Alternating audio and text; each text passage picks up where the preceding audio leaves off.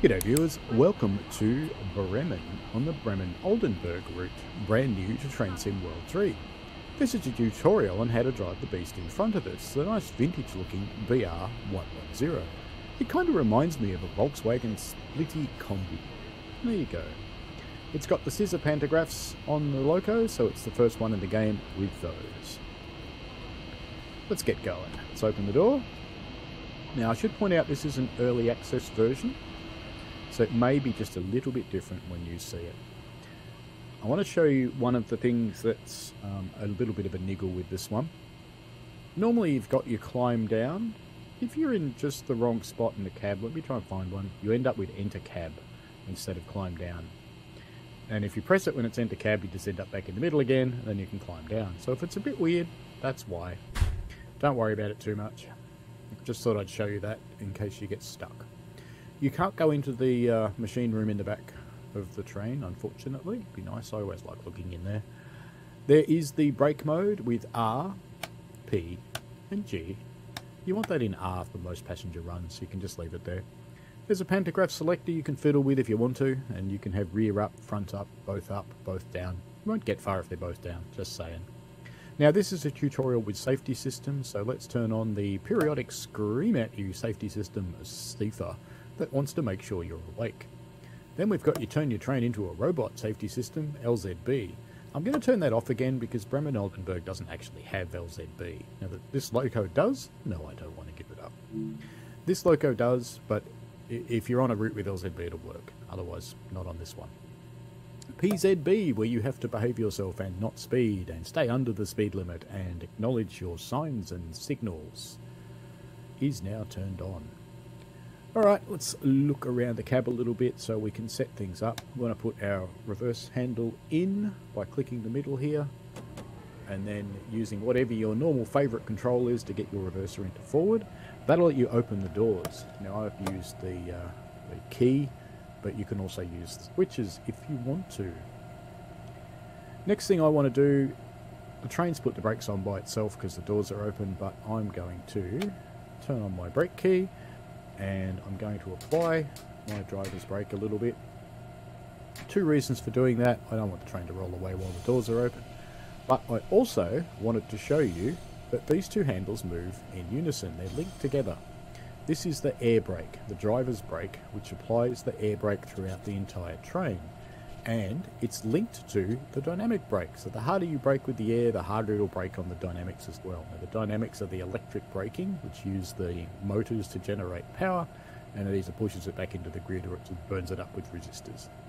Now, you can move them independently as well, and once you do, the dynamic brake is no longer linked until you release the driver's air brake, and then when you apply it again, they're linked again. Now, it wouldn't have released the uh, air brakes completely then because the doors right now are open. So let's put in our master and instrument lights. That turns on these and gives you the power to put your headlights on. Signal lights normal, we'll just leave those alone, but you can also go to reduced and you can have a nifty little desk lamp if you want it. Down here there's an emergency brake if you care to use it. There's SIFA acknowledge, contact signaler. Got our usual for PZB, PZB acknowledge, PZB release, and PZB override. Here's one you're going to get to know. It's going to be your friend. So right now we can see that we've got voltage, so our train line power is on if you blow the main circuit breaker, which you will in this train, it's not a fault, it's just going to happen to you, then you need to flip this one. We'll make that happen in a moment. We are pretty much ready to go. A couple other things to show you. Wipers. And there's a little speed control next to them to make them go faster or slower. It's an air operated thing, so it's the switch. Let me just get that parked over on the right there It can be a bit annoying to get it in the right place. You can also move it manually if you want to. Same over here. There's a switch and a little speed thingy. Alright, let's get the doors shut. So use whatever method you usually use for your doors, whatever makes you happy. Brakes off. And looks like the brakes are releasing, so let's tap up. And of course, we're in a hurry, aren't we? So let's tap up a lot. And we're watching our power climb and climb and bang. Hmm. We just blew the circuit breaker. So let's take that back down to here, back to zero, and turn our main circuit breaker back on. You notice a nice big thump, and you can power again. You've got to power up gently. It's safe to release, so we'll do that. Just passed under a signal which I acknowledged while I was messing around then because there's one right there just as you start off. You're literally on the magnet as you start driving. Now I released from monitoring so we don't have to do 45. We've just got a 1000 hertz magnet so I've acknowledged that. Now we have to, we are limited to 45 again. So you can see with the 85 flashing here. That noise is safer. Everything happens at once when you've got safety systems on, so learn the train without them first pretty important. Otherwise, life gets a little bit awful if you're trying to learn at the same time. Alright, so we can tap up a bit. So if you tap up gently, just a couple at a time, and you watch this power meter, because if it gets much above 40 or so, you'll blow the breaker. When that happens, you just have to reset it, it's fine. It's SIFA again. You can tell it's SIFA because the little red sorry, the yellow light comes on, and you get the sound. So I'm going to tap up. The tap changer is not particularly compatible with the rail driver. It tries to be. Doesn't work fantastically well. I find it moves it a bit too far and sometimes not far enough. It's just the rail driver itself. It's just a finicky beast. Boofer again. On the next go with SIFA, I'm going to show you what happens if you don't acknowledge it. I'll show you how to get out of it.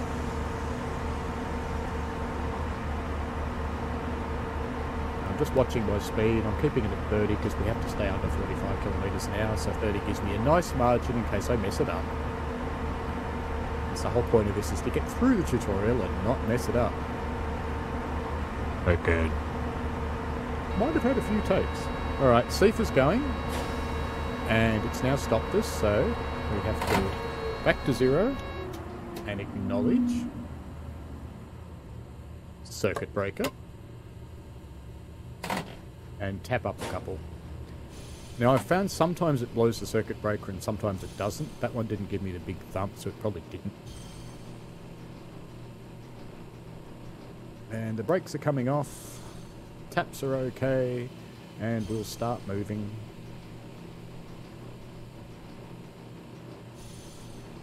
Momentarily.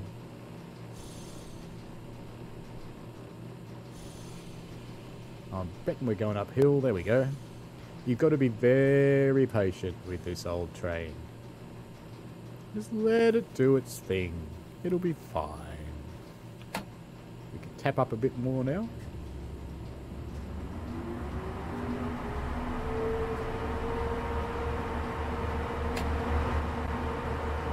A bit more. Now this is a tutorial of how to use PZB and SIFA in the train, not a tutorial on PZB. There's plenty of those around on the internet. The signal coming up is warning me that we're coming into a 50 zone, that's what the 5 means. I don't have to acknowledge that one though, because there's no magnet there. There's SIFA.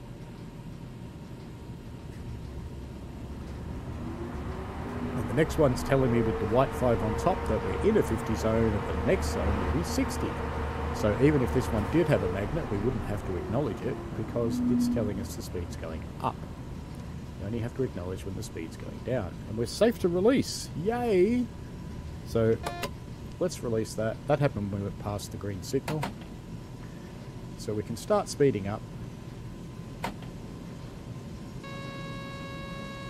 SIFA.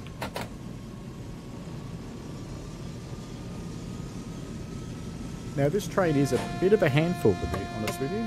And I just didn't acknowledge my PZB in time.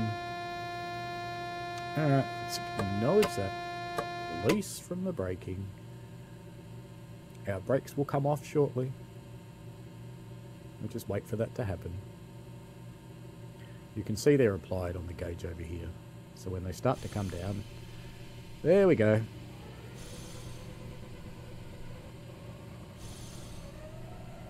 Coming down, you can hear the compressor running, so we can start tapping up, just gently.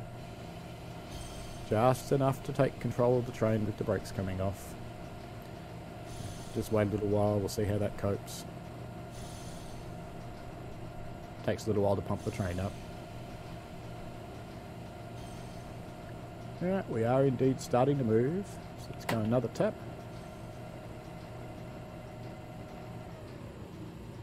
Now, interestingly, I'm not quite sure why we're actually restricted there, because I thought we were going up in speed. I will ask about that.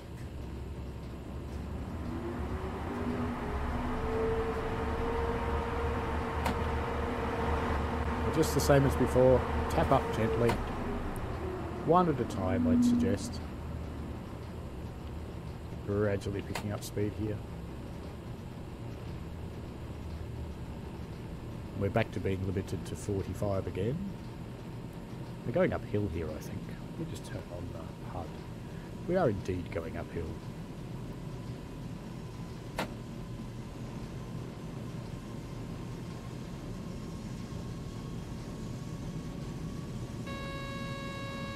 Sifa.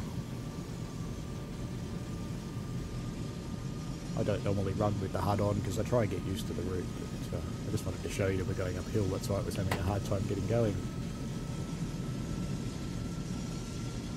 Now I can't accelerate too hard because we have to stay under 45 kilometres an hour. So just a bit at a time.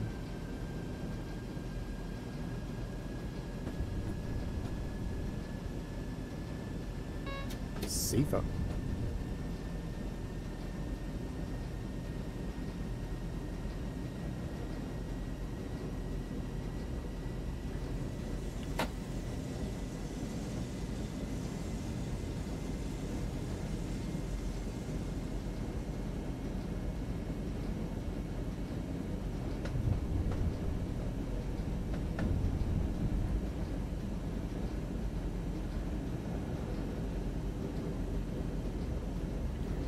Sifa. We shouldn't have to acknowledge this signal. And it's safe to release because we've gone through the green, so let's release that. We're no longer in monitoring. Just brought our taps down a little bit.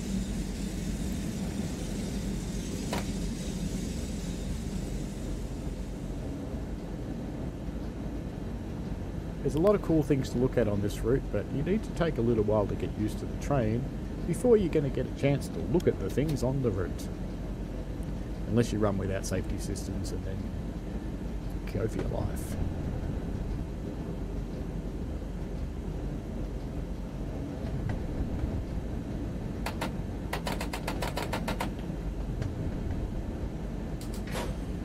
Now this thing's brakes are quite impressive.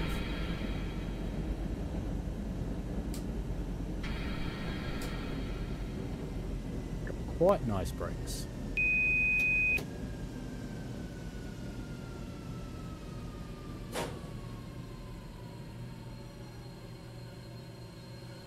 Yeah. So even a nice gentle brake like that, um, yeah, stops pretty quick. Loading, loading, loading be able to get going in at the moment. I tapped down to zero before I braked. If you don't, you'll be interlocked.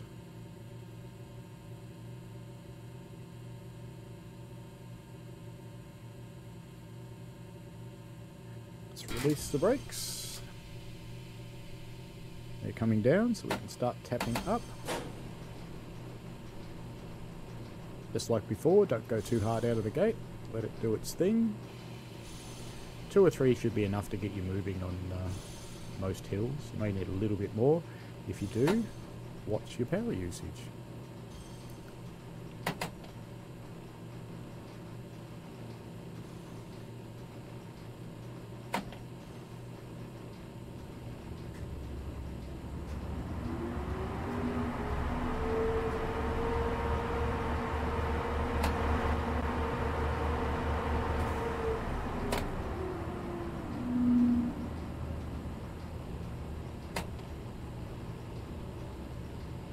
The old thing does take a little while to get going. Till you tap up too far. Just let it build a speed. SIFA acknowledge.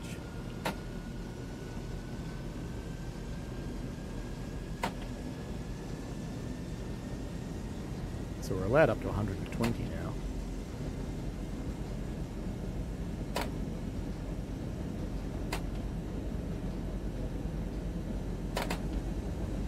Oop, I double tapped. And I survived. You can see it's starting to accelerate quite quickly now.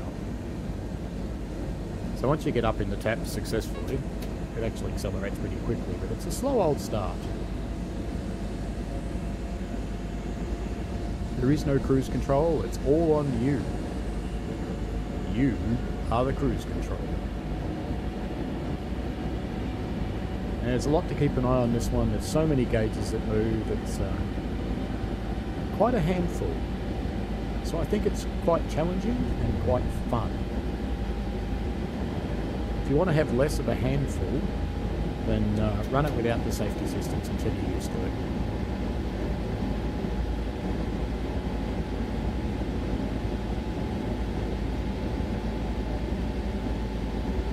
Alright, the next thing I want to show you is getting over an emergency brake. So let's do one now. Alright, so emergency brakes applied. Tap change is coming down by itself. We can do that too. Let's just bring our wheel back down to zero as well. SIFA again. Now once it stops, Train stop nice and quick. Brakes are hard on, even though your handles are off, because this is still open. So close that. What you'll see is that your brake pipe will start pumping up, and then your brake cylinders will start to release. There goes your brake pipe, the yellow one up there. Pumping, pumping, pumping, pumping, pumping. And you should see, there we go, they're starting to release, so we should be able to tap up. Just go up to four and let it sit. There we go, we're starting to power. So recovering from emergency brake is as simple as that. No waiting, no boring timers. Take a little while to pump the whole train so the loco brakes are off. Train brakes are probably off by now. Tap up a bit more, bit more, bit more. Just as a guide, as soon as you see that yellow needle on this gauge start to go down, it's pretty safe to tap up to another one. Don't get too carried away.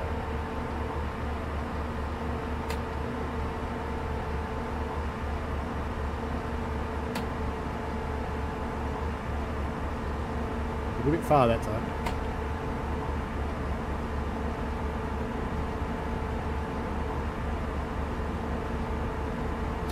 Beefer again. Just keep tapping up until we get to line speed, and that's where I'll end the tutorial. So I've shown you how to turn the safety systems on. I've showed you how to acknowledge with PZB. I've showed you how to release. Uh, I've showed you what happens if you blow the main circuit breaker, how to recover from that. I've showed you what happens if you don't acknowledge SIFA and how to recover from that I've shown you how to set an emergency brake and recover from it. So that's about all you really need to know to run this beastie. So enjoy yourselves. New loco, super cool. A lot of fun. And it just looks nice and vintage.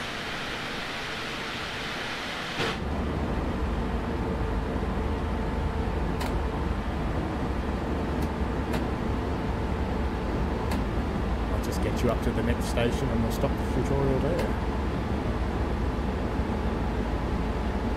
I'm up quite high on the tap wheel now.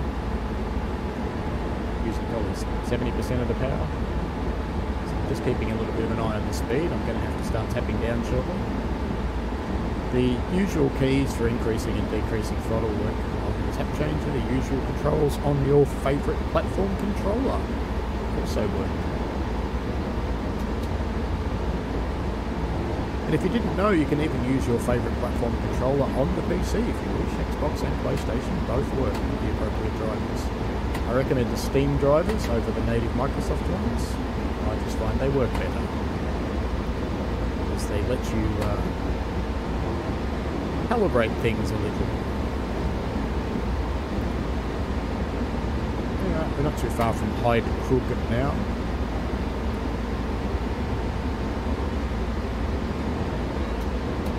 Sifa. I'm to tap down now and get ready to start. Oh, you'll find if you use the dynamic brake by itself, by the way, it doesn't do a lot by itself. But you can see even at that level, it's not doing much. It's not a strong dynamic brake. It gets stronger as it goes, I think. Let's just put that off and start air braking, or we're not going to make this. In fact, we're not going to make it anyway because I wasn't paying attention. If we're lucky, we might have one door in the platform and not go through the signal. Did we? I hate to think how close that is. Let's have a look. How close is it? Got one carriage. One carriage. If you're wondering why these doors don't open, it's a um, baggage or a goods area. You can open them if you want. Alrighty then. Nearly ended the tutorial on a Nebworth. Good done. Well done. If you've got any questions, put them down below in the comments and I'll uh, try and answer them for you. I hope you enjoy this route. I quite do. It's a bit of fun.